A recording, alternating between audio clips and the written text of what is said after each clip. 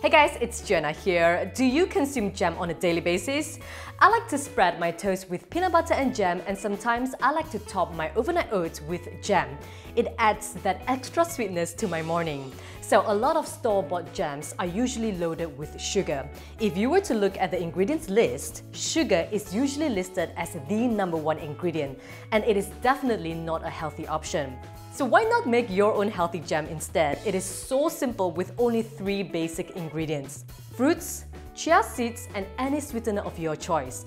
So these jams have no refined sugar, no artificial ingredients, and it's 100% natural.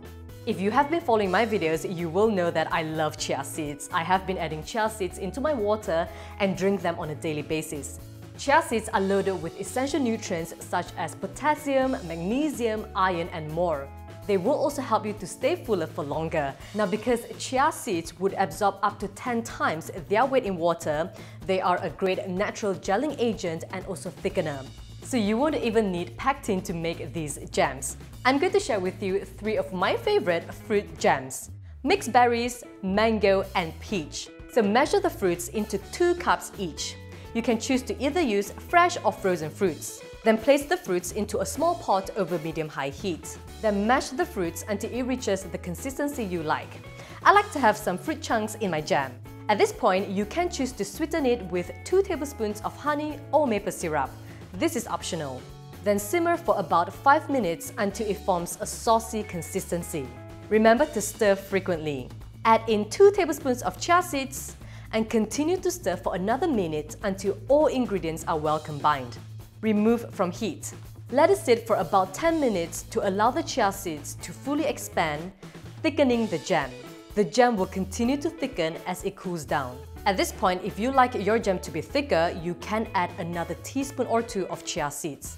And again, let it sit for another 10 minutes. Pour into a jar and your jams are ready. Store in the fridge and this will keep fresh for up to 2 weeks. These chia jams are looser and more sauce-like compared to the traditional store-bought jam. You can use it just like your typical jam. So spread it on toast, stir into oatmeal, or spoon it over yogurt.